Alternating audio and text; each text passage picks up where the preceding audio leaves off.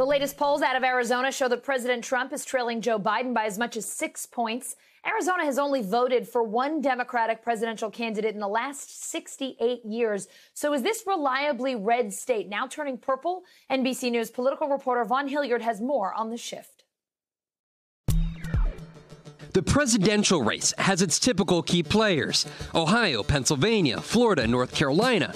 But now it's Arizona, the conservative bastion of the West, that could upend the political map in 2020. Joe Biden consistently leading in polling over President Trump this year, despite just one Democratic presidential candidate winning the state over the last 70 years.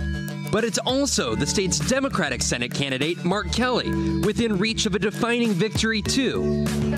The former astronaut and husband of former Congresswoman Gabby Giffords, making the case for Democrats in this longtime Republican state. I would say, if anything, that it is a state that really values independence. This, the state where Barry Goldwater helped establish conservatism as the key principle of the modern day Republican Party. We Republicans seek a government that attends to its inherent responsibilities of maintaining a stable monetary and fiscal climate. In Sandra Day O'Connor, it's Western independence. I do not believe that it is the function of the judiciary to step in and change the law because the times have changed or the social mores have changed. The former Arizona Republican legislator plucked out of the desert to become a swing vote on the U.S. Supreme Court, all before John McCain, the young former prisoner of war, hit the Phoenix pavement to become the face of its politics. You well know I've been called a maverick, someone who marches to the beat of his own drum. But today's Republican Party, now helmed by Donald J. Trump, we're going to win the state of Arizona in Arizona, signaling it may turn to Democrats. Two years after the passing of McCain, who became perhaps the most notable critic of Trump. His wife, Cindy McCain, now on the campaign trail for Biden and on airwaves. Joe will always fight for the American people, just like John did. But Cindy McCain represents a shifting element of Arizona's electorate. Did you vote for Hillary Clinton in 2016? No. I thought we could use a change. Guess what? We got a change. Fortunately, it's a bad change. What does it mean to be an Arizona independent? We think for ourselves. We look at the we look at what's best. I mean, we read, we that's the big thing. We read.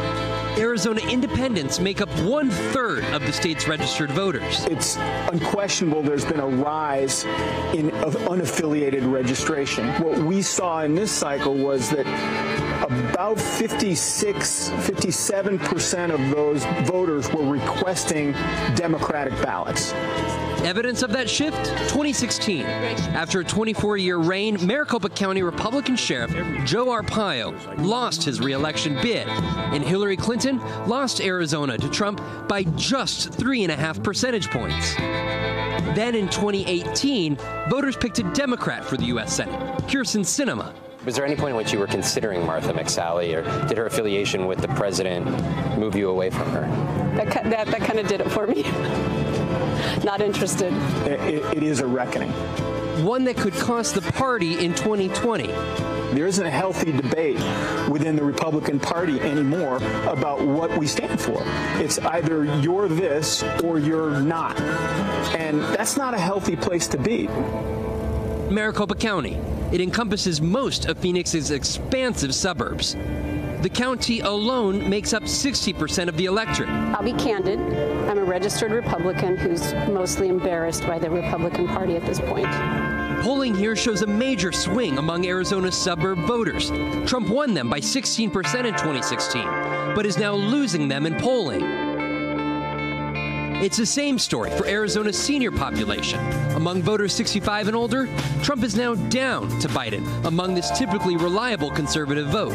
I have always voted Republican. Uh, my family's always been Republican. My grandparents were, and so forth. So, but uh, I think things are going to change. You voted for Donald Trump in 2016? Yes, I did. My feeling was that once he got into office, he wasn't going to be the uh, boisterous bully on Apprentice that he was there. And the share of Latinos in the state continues to advantage Democrats. In 1980, Latinos made up 16% of its population. Since then, it's doubled its share to nearly one third. We have, you know, registered people and signed people up on the permanent early voting list. But Trump still draws major crowds in the state. When you see turnouts like this, I just don't see that it's, it's going to be that close. I believe that God uses unperfect people to um, do his will. So, how do you think Arizona goes?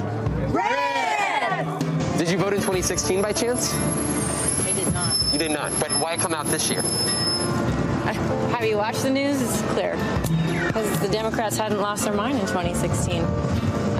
I don't want to lose them in a socialist country or a third world country.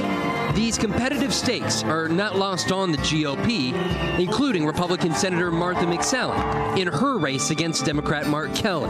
This is going to decide the direction of the country, this race. It's going to decide the Senate majority, and Chuck Schumer is going to have to pry that Senate majority out of my cold, dead hands.